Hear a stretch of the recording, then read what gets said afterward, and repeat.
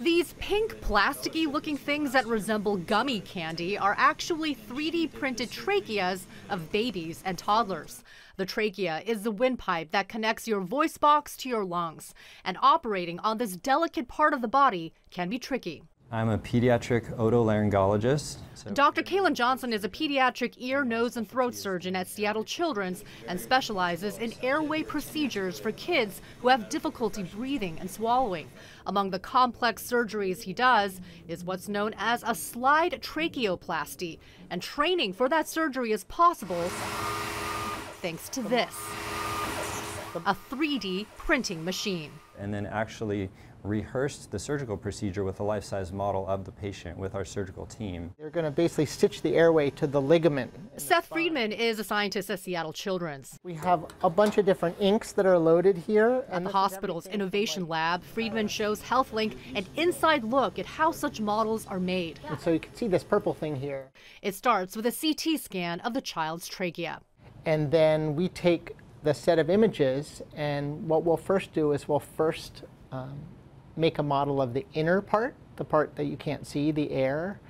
And then we have quite a like step-by-step -step process where we can talk to doctors like Dr. Johnson and others to find out exactly how many cartilage rings there are.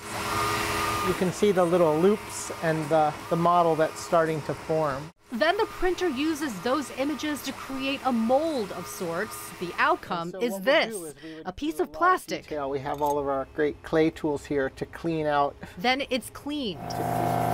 This can be used to remove some of the support material. Washed several times. So this is the gel or the material that you'll evacuate then extracted.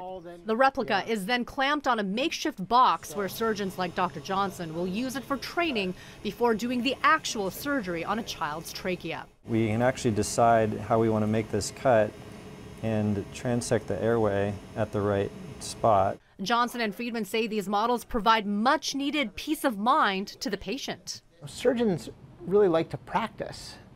So they are sort of more like the concert, concert violinist and this is a patient that they actually want to practice their craft on. These tools are now being used overseas. Dr. Johnson and his team have traveled to South America to teach 3D printing models for tracheoplasty.